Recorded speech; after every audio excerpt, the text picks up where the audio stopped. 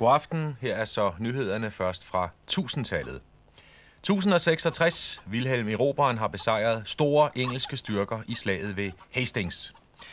Vi har modtaget de første billeder fra Wilhelms hertog. De ledsages af en pressemeddelelse, hvor i det hedder, efter den strålende sejr ved Hastings og efter den norske konges forsmedelige nederlag ved Stanford Bridge, er danskervældet i England nu endeligt forbi. Vikingetiden er simpelthen slut. Og fra Grønland meddeles, at Erik den Røde søn live på sin sejltur har nået et nyt land vestpå, som han kalder Vinland. Efter den heldige rejse har Leif derfor taget tilnavnet Den Lykkelige. Så skal vi til udlandet. Pave Urban den anden har sendt en deling ridere til det hellige land. Selv kalder han korstoget for en befriende og fredskabende aktion. Dermed nyhederne for nu. Vi vender tilbage snart med 1100-tallet på gensyn.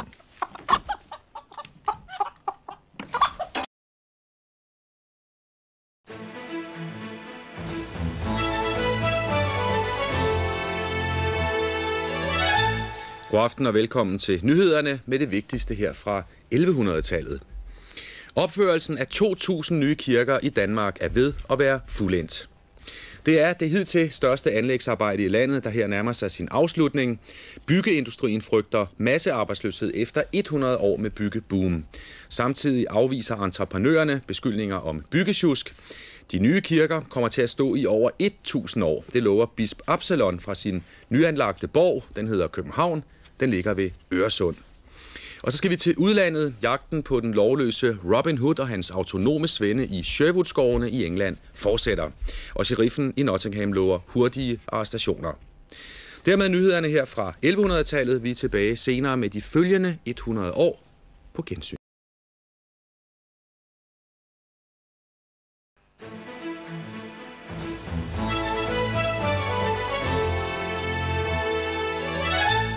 Her er så nyhederne denne gang med 1200-tallet. God aften. Året er 1219. Danmark har fået et flag fra Estland meddeles af et stykke klæde, der på mirakuløs vis faldt ned fra himlen, vendte krigslykken til danskernes fordel. Kong Valdemar har givet det nye flag navnet Dannebro. Og så til 1286, det lykkedes et lokalt jysk tv-hold at filme de sammensvorne på vej fra Finderup Lade. Efter mordet på Erik Klipping flygtede kongens drabsmænd Marsk Stig og Rane Jonsen. Her ses de til hest på vej fra gerningsstedet. Politiet har forgæves forsøgt at få billedmaterialet udleveret. Og så til udlandet. En italiensk opfinder påstår nemlig, at han kan give svagt seende synet igen. Man skal bare bruge sådan nogle slebende glas her foran øjnene, og så straks bliver verden synlig igen. Alt bliver skarpt, siger opfinderen. Og fra Italien meddeles i øvrigt, at Marco Polo er kommet hjem fra Kina. Det var nyhederne fra 1200-tallet.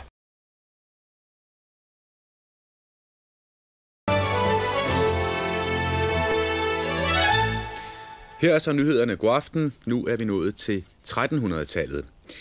Den nordiske union af Danmark, Sverige og Norge er nu en realitet. Og fra Kalmar meddeles, at adskillige delegerede tager forbehold for, hvad de kalder Nordens forenede stater. Dronning Margrethe har foreslået, hvad hun kalder et internationalt kompromis, hvor efter landene beholder indre selvstyre. Kun kongen og udenrigspolitikken er så fælles.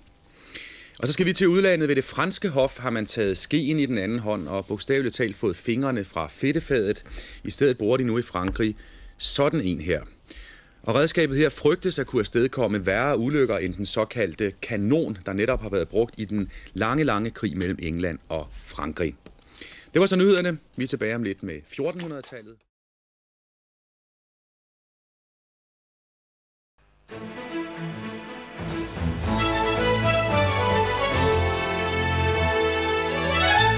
Her er nyhederne med det vigtigste fra 1400-tallet. God aften.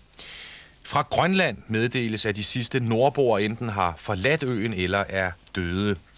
Dermed har et flere hundrede år gammelt nordisk nybyggereventyr forløbig fundet sin afslutning.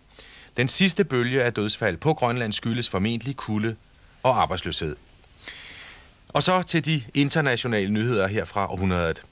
En spansk sømand af italiensk herkomst, han hedder Christopher Columbus, hævder, at have fundet søvejen til Indien. I den danske søfartsstyrelse har meddelelsen fra det spanske hof udløst hovedrysten.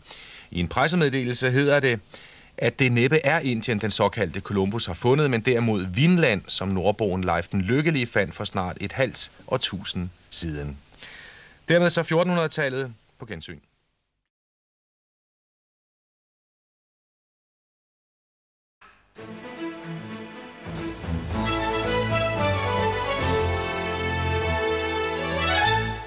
Så er det tid til nyheder fra 1500-tallet. God aften.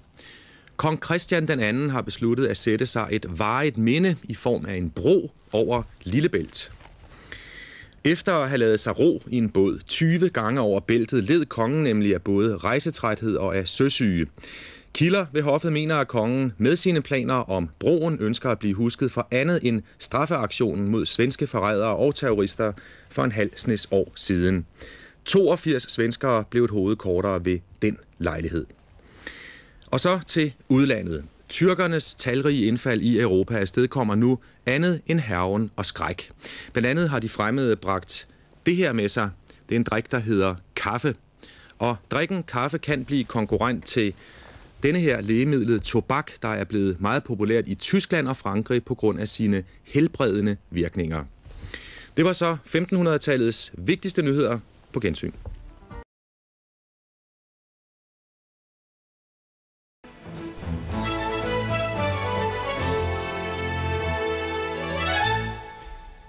Øh, så er vi klar med 1600-tallets nyheder. God aften. Efter søslaget mod svenskerne på Kolberg og Heide har kong Christian den 4. beordret alle mænd til at bære sådan en klap her for det ene øje i sympati med den populære nu enøjede konge. Kongen er i øvrigt ved at være færdig med sin omfattende byfornyelse, der ventes afsluttet med opførelsen af Rundetårn i København. Og et dødsfald fra Prag meddeles, at den danske astronom Tycho Brahe er død. Han blev 55 år gammel. Tycho Brahe forlod for nogle år siden Danmark, fordi han var utilfreds med nedskæringerne i forskningsmidlerne. Til udlandet en stor kulturnyhed. Den engelske digter William Shakespeare har fået meget fine anmeldelser for sit nye stykke, der hedder Hamlet. Det handler om en dansk prins i Helsingør. Stykket ventes ikke til Danmark de første par hundrede år, men det skal nok komme hertil en dag. Vi er tilbage om lidt, så er det med 1700.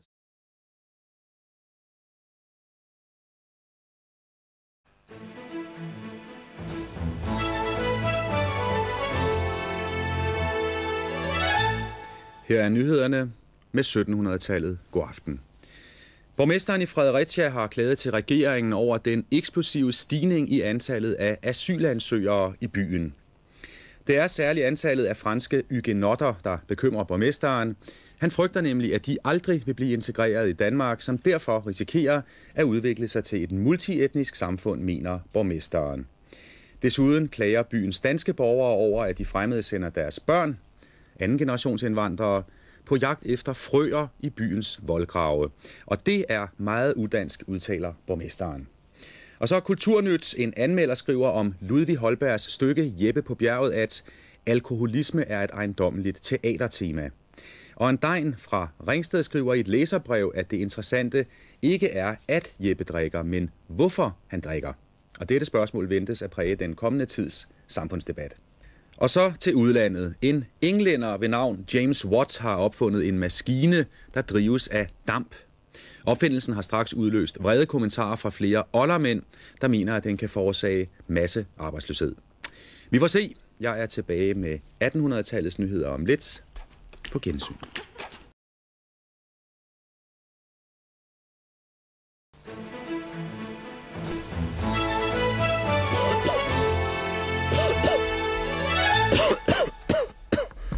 1800-tallets nyheder. God aften.